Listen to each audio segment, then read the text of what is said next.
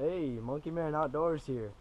Today I will be showing you where I found all the skulls at in the woods and as you can see I'm just not leaving home. So I'll be there in a bit for the first one and I'll see you there. Now if you're looking for horns a good place that I've actually found one shedding is an area where there is actually a bunch of leaves for whatever reason, deer and elk love to rub on trees with leaves. So here's a good example. This whole tree looks like it's just been rubbed on like crazy. Rubbing off that velvet. Now there could honestly be a horn underneath these leaves and I would not even know it. You always got to keep a good eye out. They are hard to find. But if you look hard enough, you will find one eventually. So right in here is where I found two skulls. One was in pretty bad shape. The other one is the really bleached looking one. I don't exactly remember where I found it, found them though. But I know that it's very thick in here and that it is good killing grounds for a good old cougar snack, you know. And I will be showing you the others here pretty soon. But here's just a little taste of what it's like in the actual woods off trail. There's many deer trails and such. If you go off trail, you can find a few bones. And when you find a few bones, you can actually end up finding the body and the head. And that's how I found many of the skulls that I have found. So I'll be showing you some good examples of that here in a bit. So stay tuned. Here's how you find a skull. So there's a bone there. You keep on following him. There's another bone. More bones. Hey, look, more bones. Look, more bones. There's a rib there. Now I've already found the skull for this one, but that's how I found it. It was right here. And there was a big, long one that's broken. And that's how you find the skull. And I'll show you the rest. Here's just another little taste of what it's like in the woods.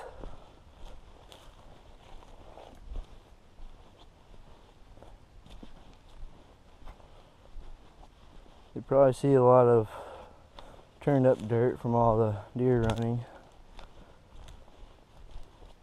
Some places it'll be open and some places it won't be. And sometimes you'll find some big old growths.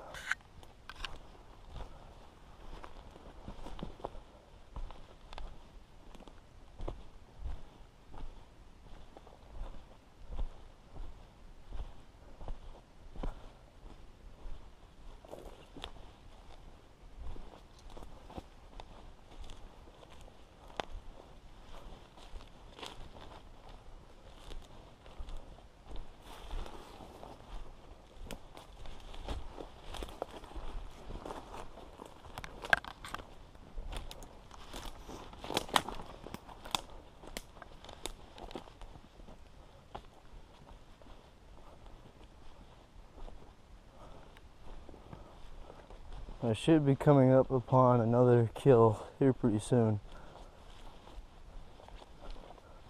Now with all these skulls I don't actually know if they were killed by disease or by predator. But if the skull was chewed on and there's a lot of bones missing and scattered, you can probably assume it was by predator. But if a lot of the bones are still there and just around the area, the vultures probably found it and probably just spread it out the bones a little bit. But it was probably killed by disease.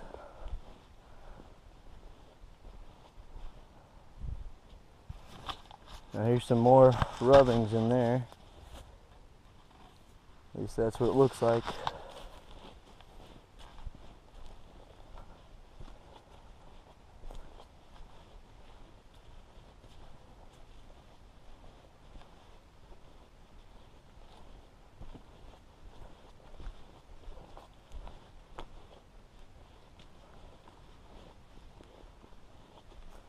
There's lots of little trails going through here, as you can see.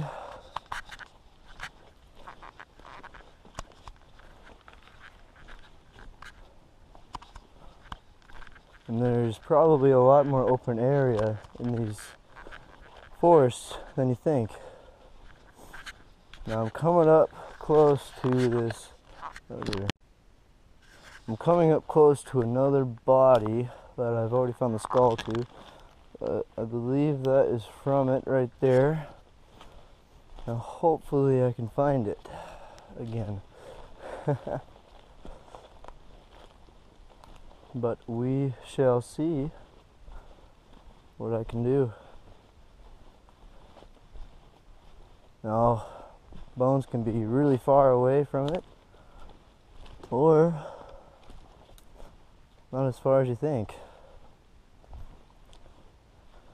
And in this example, it was a little far, but I still found the rest of the body right here. And here's actually the jawbones to the skull I found. And that's how you find skulls. Hey, I just wanted to show you guys a little bit different terrain and different forests. So, here's what this one looks like. Now, this one isn't really as old as the other forests, I don't think. It's much more overgrown and much harder to hike through. And can be very dangerous. But if you know what to do. You'll be fine. But a lot of times you'll end up almost falling. So what you gotta do. Is you gotta lean back now that won't always work for you, but it works most of the time. I still fall, but not as much. Whoa. And that's how Bigfoot does it.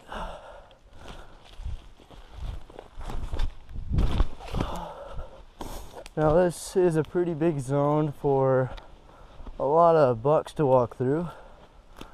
I know this because I've walked through here and I've seen quite a bit of rubbings on the trees to get the uh, velvet off. Now, another thing I found in here is that skull with the horns on it. And I am literally almost there. so, whew, yeah. So here's a few of its bones right here. So if you just walk right through this trail here, it should be coming up.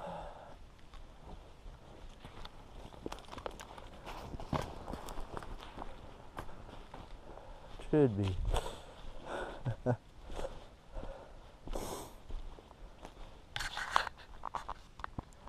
or not.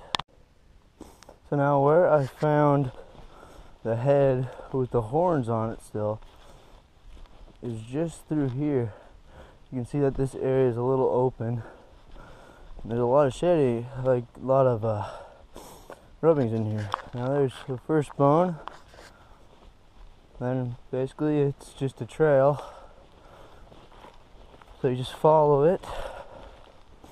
And then you find more bones. Like right here. So that's another bone from it. This is actually where I found it. So the head was laying here, the horn was laying there, and another horn laying there. That's the spine right here.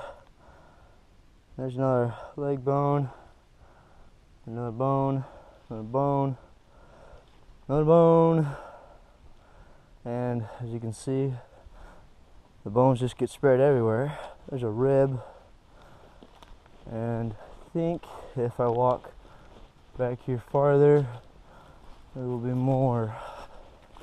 This looks to be the job of a predator kill,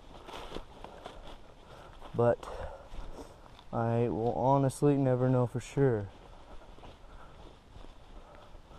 But over here is more bones, and why they're over here, I honestly don't know. But through this area, there's a lot of deer sign. And where the deer goes, where you are likely to find a shedding. Now, I've not found a shedding, but I have found that head with the horns. So, odds of me finding a shedding are pretty good. Now, here's a deer trail right here. I honestly don't know where this goes, but we'll find out. Now, there's lots of random trails through here, and you could easily get lost, but my surroundings, if I go a mile in any direction, I'm go- gonna find a road or an open logged area. Guaranteed.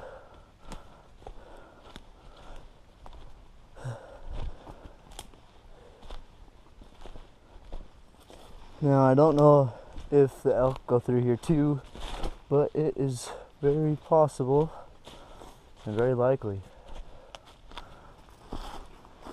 But I hope to find one of their antlers someday. But for now, I'm perfectly fine with what I find.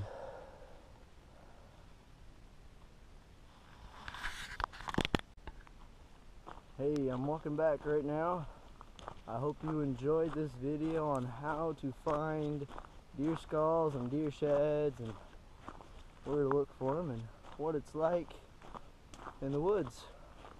Now up there is where I was and this is the below view and just listen to this quietness. Doesn't happen very often, but when it does, you gotta love it. And I hope you all loved this video and I hope you will hit that like button and I will see you all next time. See ya.